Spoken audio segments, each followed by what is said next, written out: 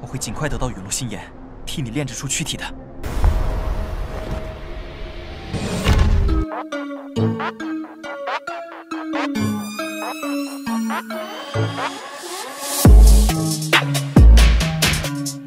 Halo kalian para pecinta Battle Through the Heavens yang udah pada rebahan Udah siap kancut lah ya dengan perjalanan Xiaoyan Terima kasih untuk kalian yang selalu stay di sini Kuilah cari posisi PW kita kancutkan perjalanan Xiaoyan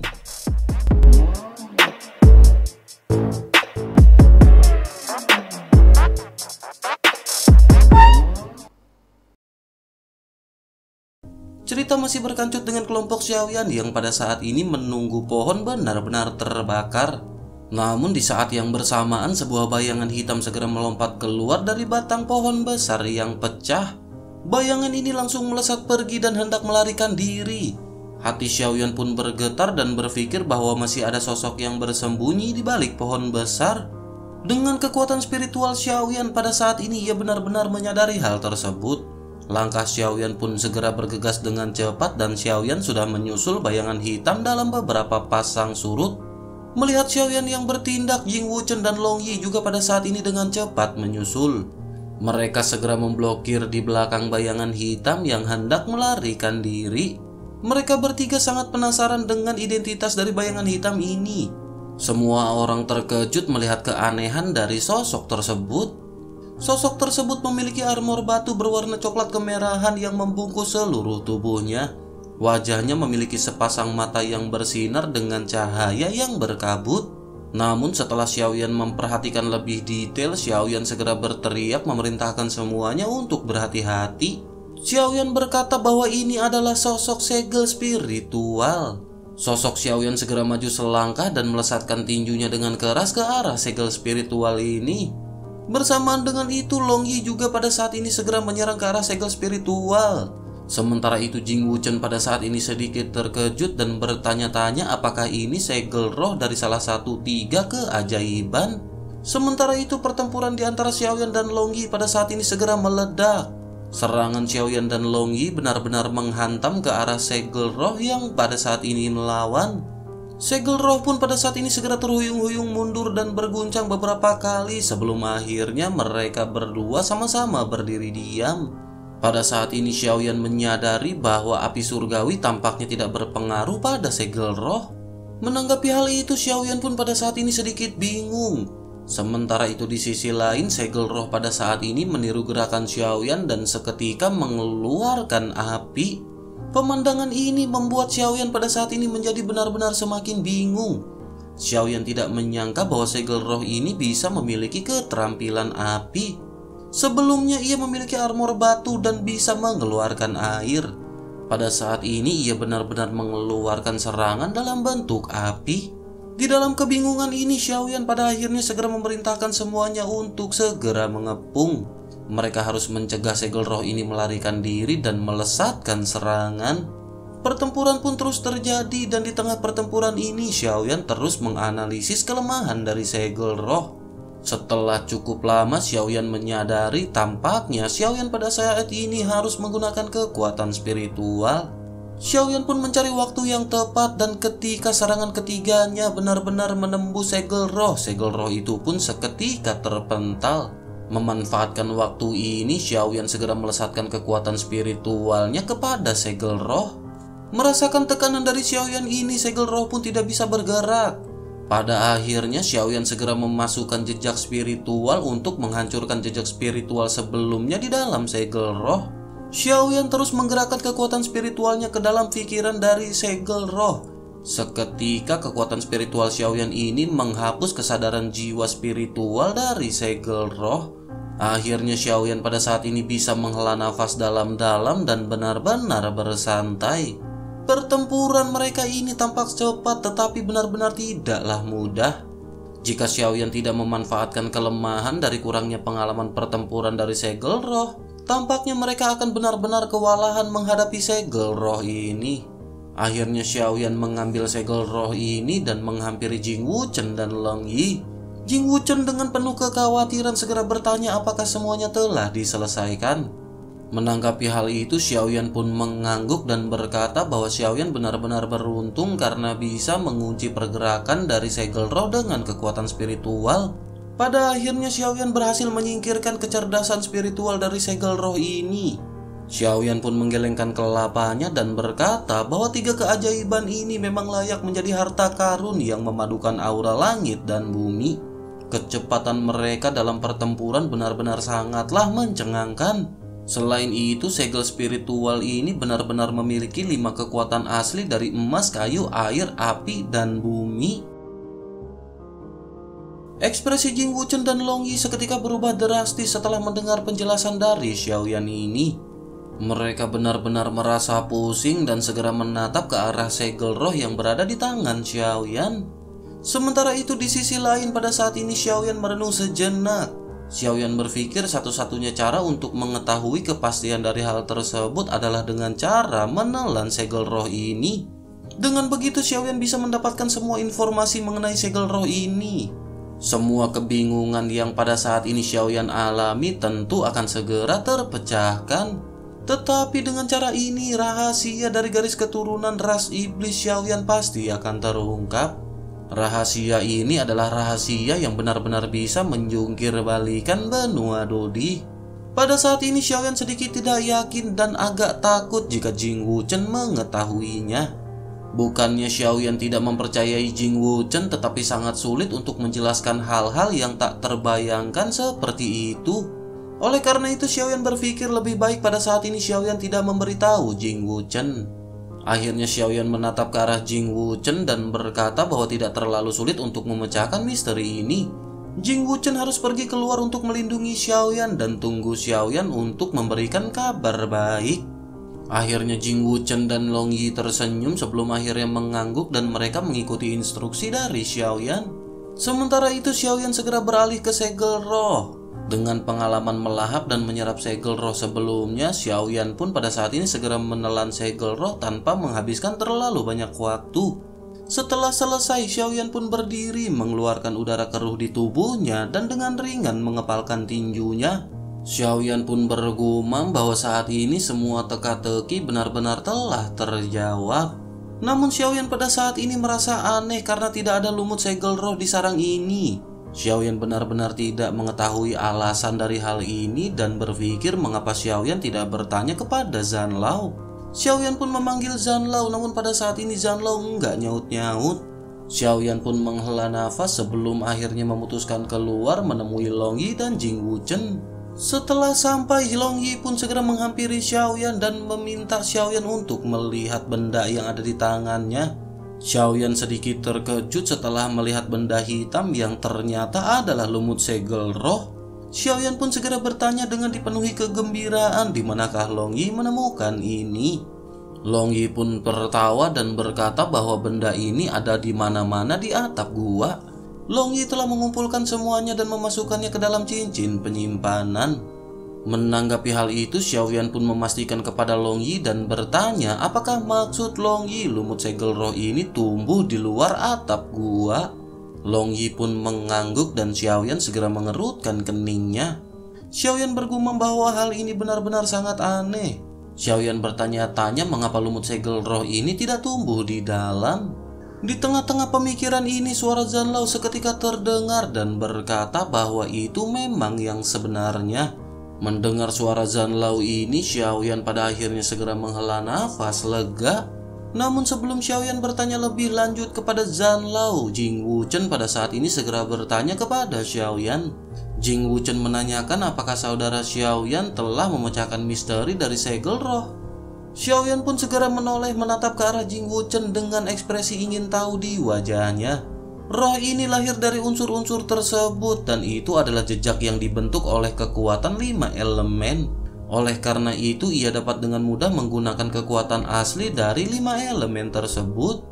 Menanggapi penjelasan Xiaoyan ini, Jing Wuchen pada saat ini sedikit tercengang. Jing Wuchen pun segera tersadar sebelum akhirnya segera mengucapkan selamat kepada Xiaoyan berulang kali. Sementara itu Xiaoyan pada saat ini tersenyum dan segera teringat mengenai teknik delapan ekstrim. Xiaoyan dipenuhi dengan kegembiraan karena pada akhirnya teknik tersebut bisa naik level lagi. Xiaoyan pun segera menekan kegembiraan di dalam hatinya sebelum akhirnya Xiaoyan segera menyadari bahwa mereka pada saat ini ada di sebuah puncak gunung. Akhirnya Xiaoyan segera mengajak kelompoknya untuk segera menuruni puncak gunung ini. Setelah mereka mendekati hutan, Long Yi meminta Xiaoyan untuk melihat yang ditunjuk olehnya. Xiaoyan pun segera melihat arah yang ditunjuk oleh Long Yi di mana mereka pada saat ini melihat sebuah bunga yang indah. Akhirnya mereka pun mendekat dan pada saat yang bersamaan Xiaoyan seketika terkejut. Xiaoyan melihat ada tiga buah rumput yang terhubung dan tujuh daun yang bersebelahan. Dengan mata memerah Xiaoyan bergumam bahwa ini pasti rumput impian. Pada saat ini Xiaoyan benar-benar menemukan bahan yang dibutuhkan untuk proses kebangkitan leluhurnya. Xiaoyan menganggap bahan obat ini lebih berharga daripada inti sihir dan roh hantu. Hal itu dikarenakan rumput impian ini membawa harapan Xiaoyan selama bertahun-tahun. Xiaoyan benar-benar gembira karena pada akhirnya Xiaoyan bisa membalas kebaikan kepada leluhurnya. Selain itu, tujuan terbesar Xiaoyan memasuki ilusi ini adalah untuk tanaman tersebut. Setelah beberapa saat, Xiaoyan pada akhirnya secara bertahap segera memulihkan suasana hatinya. Sementara itu Jing Wuchen bertanya tumbuhan apakah ini dan apakah khasiatnya. Xiaoyan pun segera menjelaskan mengenai tanaman ini. Setelah itu Xiaoyan menjelaskan detail penggunaannya dan menceritakan sedikit pengalaman Xiaoyan di benua Doki.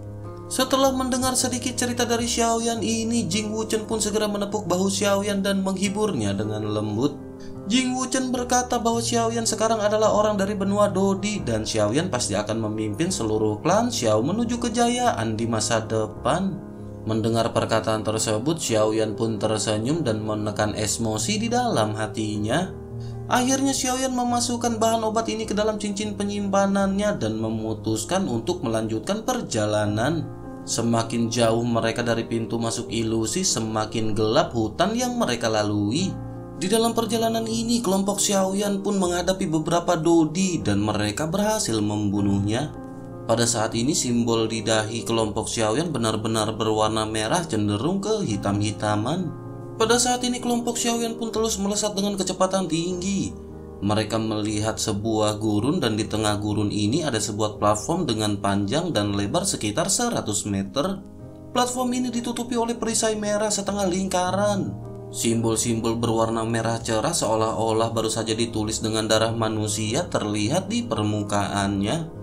Jing Wuchen pun segera membuka mulutnya dan berkata bahwa platform itu seharusnya menjadi tempat di mana mereka akan mendapatkan hadiah. Tetapi pada saat ini tidak ada seorang pun yang berada di dalam perisai. Seharusnya tidak akan ada yang bisa masuk kecuali 10 orang dengan tingkat pembunuhan tertinggi.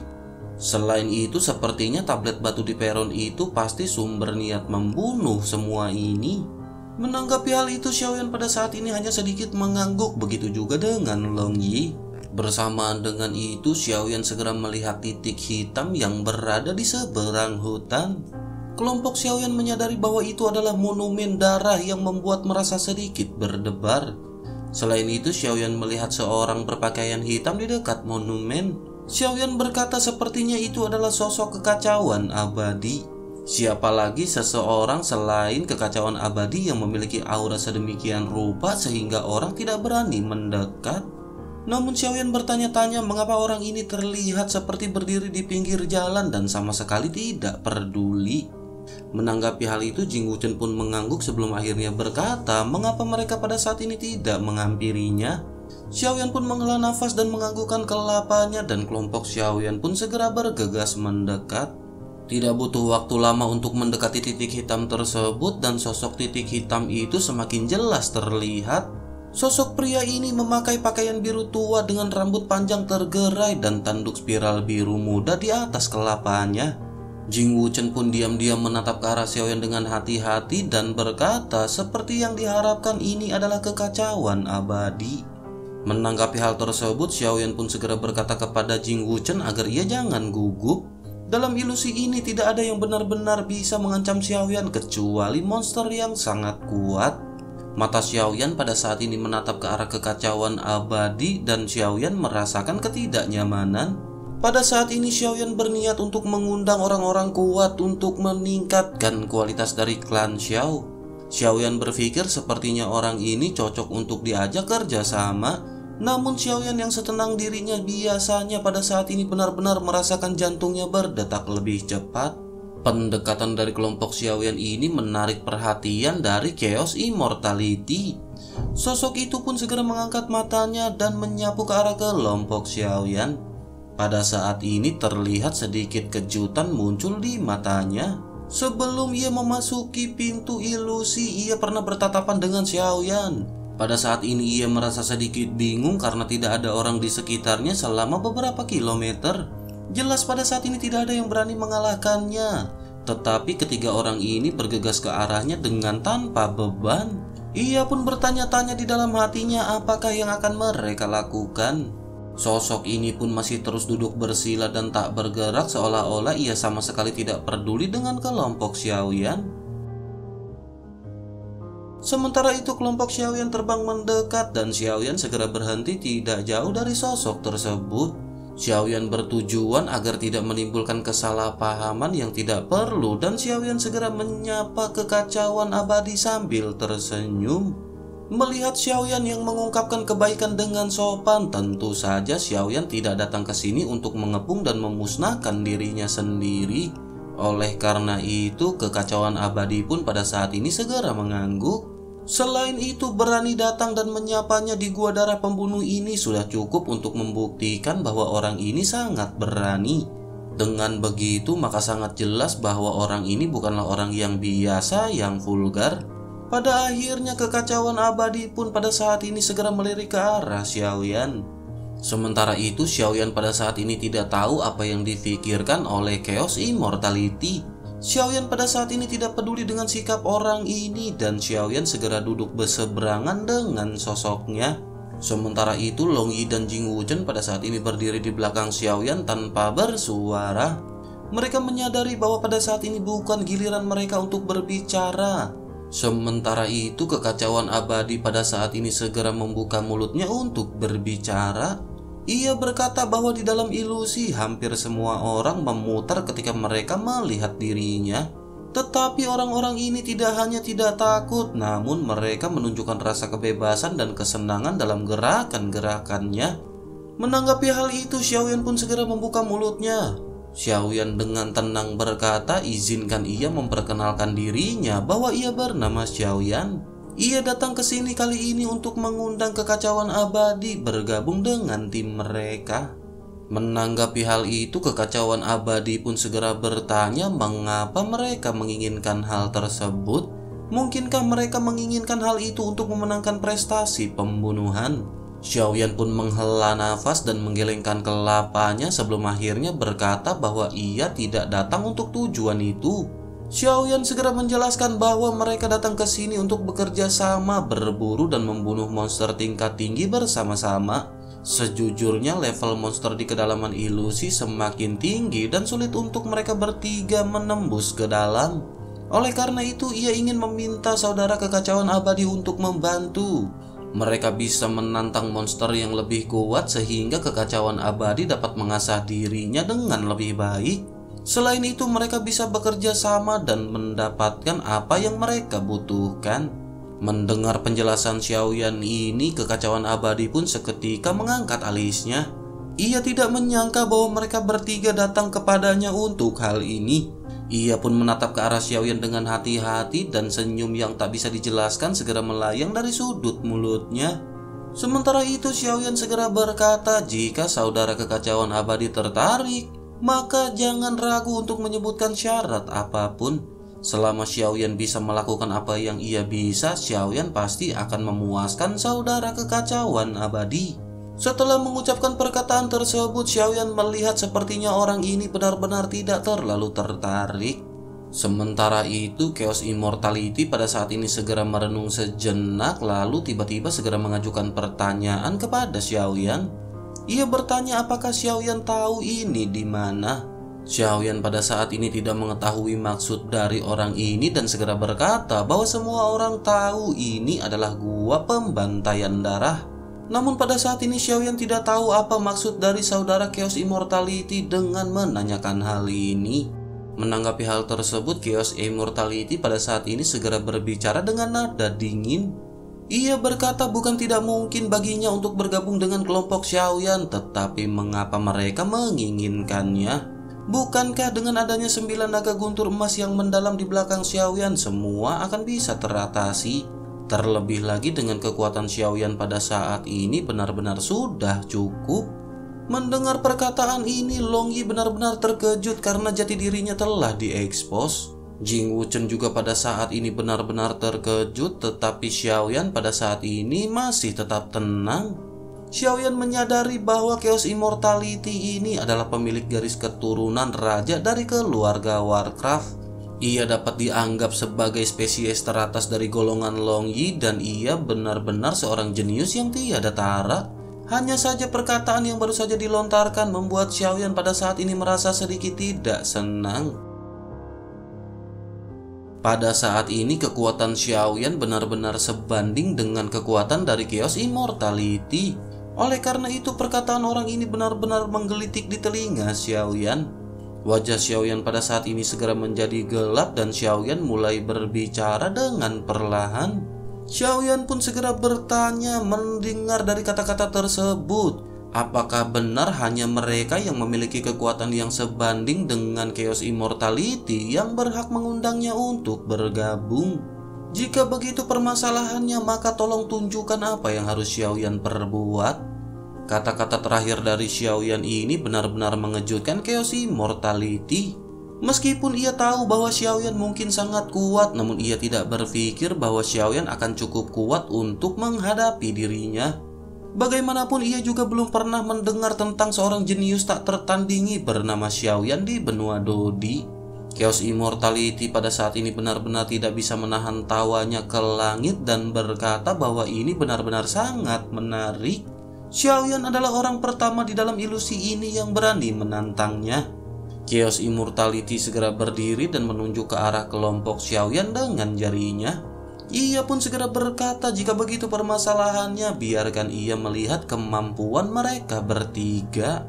Menanggapi hal itu Xiaoyan segera menggelengkan kelapanya dan berkata bahwa mereka tidak akan bertarung bersama. Xiaoyan menghormati Chaos Immortality, oleh karena itu tolong hormati Xiaoyan. Dengan begitu, maka mereka pada saat ini akan bertarung satu lawan satu. Wajah Chaos Immortality pada saat ini segera berubah drastis dan ia menatap Xiaoyan dengan tegas. Pada saat ini seolah-olah ia telah mendengar sebuah lelucon yang paling lucu di benua Dodi. Namun ketika ia melihat ekspresi Xiaoyan dipenuhi dengan ketegasan, ia yakin bahwa Xiaoyan pada saat ini tidak sedang bercanda. Chaos Immortality pada saat ini benar-benar sedikit marah hingga wajahnya pucat. Ia pun segera berteriak rendah kepada Xiaoyan dan berkata bahwa Xiaoyan benar-benar sangat sombong. Sebaiknya mereka semua pada saat ini segera pergi atau tempat ini akan menjadi tempat pemakaman mereka bertiga. Pada saat ini Xiaoyan mengabaikan ancaman dari Chaos Immortality dan menatapnya dengan acuh tak acuh. Sedikit amarah muncul di mata Xiaoyan yang gelap dan ia segera membuka mulutnya. Xiaoyan berkata ia berpikir Chaos Immortality adalah lawan yang terhormat. Tetapi sekarang Xiaoyan tahu bahwa orang ini hanyalah seorang narsis yang merasa benar sendiri. Mendengar ejekan di dalam perkataan Xiaoyan ini, aura dari Chaos Immortality pada saat ini tiba-tiba meletus. Tekanan yang melonjak seketika menghamburkan pasir berterbangan ke segala arah. Di bawah tekanan yang tak terlihat ini, Jing Wuchen mundur beberapa langkah untuk menstabilkan sosoknya. Long Yi juga pada saat ini mundur bersama dengan Jing Wuchen. Namun Xiaoyan pada saat ini benar-benar tidak menanggapinya sama sekali. Gelombang dari aura ini benar-benar tidak bisa berbuat apa-apa kepada Xiaoyan sama sekali. Chaos Immortality pun pada saat ini sangat terkejut memandang Xiaoyan dengan tidak percaya. Amarahnya sedikit mereda dan ia segera berkata tidak heran Xiaoyan berani menantangnya. Jika begitu permasalahannya maka ia akan memberi Xiaoyan kesempatan ini dan ia berharap Xiaoyan tidak mengecewakannya. Melihat kesombongan dan kemarahan dari Chaos Immortality agak mereda, Xiaoyan juga pada saat ini menjadi sedikit tenang. Namun sebelum memulai pertempuran ini, Xiaoyan segera berkata bahwa ada seseorang yang tersembunyi di balik pohon besar. Xiaoyan pun segera berteriak memerintahkan orang tersebut untuk muncul. Mata dari Chaos Immortality juga segera menatap tajam ke arah yang dipandang oleh Xiaoyan. Ia segera melihat pohon besar di kejauhan dan sesosok segera keluar. Orang ini pun segera menuju ke arah Xiaoyan dan Chaos Immortality sebelum akhirnya mengangguk ke arah Chaos Immortality sambil tersenyum. Kelompok Xiaoyan pada saat ini segera menyipitkan mata mereka secara bersamaan. Mereka menatap ke arah orang yang berpakaian compang-camping dan tampak berdebu dengan aura yang agak berantakan. Mereka segera menyadari bahwa ini adalah sosok Angry Dragon. Mereka pun bertanya-tanya bagaimana naga mengamuk ini bisa menjadi seperti ini. Orang yang baru saja datang memang seorang jenius yang tak tertandingi dari ras monster bernama Angry Dragon atau Nulong. Sementara itu, Kios Immortality pada saat ini segera mengerutkan kening dan bertanya kepada Nulong, ia bertanya kepada Nulong apa yang ia lakukan dengan bersembunyi di balik pohon besar dan di mana penjaganya. Nulong pun segera berkata bahwa ia hanya kebetulan lewat dan hanya mengintip sedikit. Namun sebaiknya pada saat ini mereka tidak membicarakan hal-hal yang berantakan yang ia alami terlebih dahulu. Nulong pada saat ini sedikit malu sebelum akhirnya matanya menjauh ke arah Jing Wuchen dan Long Yi sebelum akhirnya menatap ke arah Xiaoyan. Ia segera bertanya bagaimana sosok Xiaoyan mengetahui bahwa ia bersembunyi di sana. Mendengar pertanyaan ini, Xiaoyan pun menoleh ke arah Chaos Immortality yang pada saat ini juga terlihat tampak ragu. Akhirnya Xiaoyan pun segera berkata dengan singkat bahwa Xiaoyan adalah seorang alkemis. Akhirnya Chaos Immortality dan Nulong pada saat ini segera mengangguk dengan bersamaan. Sementara itu Nulong segera menatap ke arah Chaos Immortality dan berkata bahwa ia telah mendengar nama Chaos Immortality benar-benar terkenal. Oleh karena itu ia mencarinya untuk bersaing dengannya. Menanggapi hal itu, Chaos Immortality juga segera berkata bahwa ia telah mendengar nama Nulong juga benar-benar terkenal di benua Dodi. Ia juga ingin bertempur melawan Nulong sebagai latih tanding.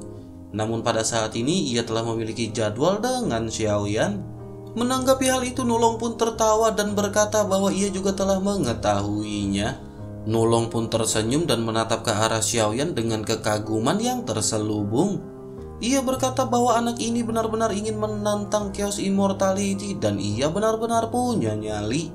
Ia baru saja melakukan konfrontasi yang menakjubkan dengan Chaos Immortality dan sepertinya di antara mereka dua bisa seimbang. Jika begitu permasalahannya, maka mereka silakan bertarung terlebih dahulu sementara ia akan menonton. Selain itu, bagaimanapun juga pertarungan ini pasti tidak akan berjalan lama. Menanggapi hal itu, Chaos Immortality juga pada saat ini berpikir bahwa tidak akan lama baginya untuk mengalahkan Xiaoyan. Ia berpikir mungkin pertempuran ini akan berakhir dalam satu atau bahkan dua putaran. Sementara itu di sisi lain Xiaoyan segera mengangkat alis dan pedangnya tinggi-tinggi. Xiaoyan pada saat ini tidak merasa marah karena telah diremehkan oleh Nulong. Pada saat ini meskipun kekuatan Chaos Immortality jelas luar binasa, namun Xiaoyan yakin bahwa Xiaoyan tidak akan kalah dari Chaos Immortality. Namun Xiaoyan menyadari bahwa dalam pertempuran ini pasti benar-benar tidak akan mudah. Konsumsi dari energinya juga pasti tidak akan kecil. Tiba-tiba Xiaoyan terfikir dan bertanya-tanya apakah Nulong memiliki niat lain atau tidak. Xiaoyan bertanya-tanya bagaimana jika Nulong bergerak ketika Xiaoyan sedang lemah. Meskipun Xiaoyan tidak takut, namun Xiaoyan pada saat ini mengkhawatirkan Long Yi dan Jing Wuchen. Pada akhirnya karena memikirkan hal ini, Xiaoyan pun segera berkata dengan nada yang dingin. Xiaoyan berkata bahwa pertarungan ini benar-benar tidaklah pantas. Xiaoyan akan bersaing dengan saudara Chaos dan terlepas dari hasil pertempuran ini pasti akan menghabiskan banyak tenaga. Mendengar perkataan Xiaoyan yang sangat jelas ini, semua orang pun menyadari maksud dari Xiaoyan. Chaos Immortality pun menyadari apa maksud dari Xiaoyan dan berpikir bahwa anak ini benar-benar cukup percaya diri. Makna di balik kata-katanya benar-benar dapat bersaing dengan Chaos Immortality untuk sementara waktu. Tentu saja dengan begitu maka doki yang dihabiskan akan cukup banyak. Namun ia tidak berbicara dan segera menatap ke arah Nulong dengan bibir yang mengerucut. Sementara itu Nulong benar-benar terkejut menyadari bahwa Xiaoyan akan mengeluarkan perkataan seperti itu. Ia pun dengan sangat marah segera menunjuk ke arah Xiaoyan. Ia berteriak apa yang dimaksud oleh Xiaoyan. Apakah Xiaoyan menyangka bahwa ia akan mengambil kesempatan ketika mereka lelah? Melihat reaksi dari Nulong ini, Xiaoyan sama sekali tidak terkejut. Xiaoyan pun segera mengulurkan tangannya sebagai isyarat undangan. Xiaoyan segera berkata bahwa ia telah mendengar kekuatan tempur dari Nulong benar-benar tak tertandingi. Sosoknya tak kenal takut dan Xiaoyan selalu ingin melihatnya dengan matanya sendiri. Bagaimana jika Nulong pada saat ini bertempur dengan saudara Chaos Immortality terlebih dahulu? Mendengar perkataan ini sebuah kilau di mata Chaos Immortality segera melonjak. Ia tidak bisa menahan diri untuk melirik ke arah Xiaoyan dan merasakan kekaguman di hatinya. Ia menyadari bahwa pikiran Xiaoyan ini luar binasa. Jika kekuatan Xiaoyan ini bagus, tentu saja sosok Xiaoyan ini akan sangat berharga.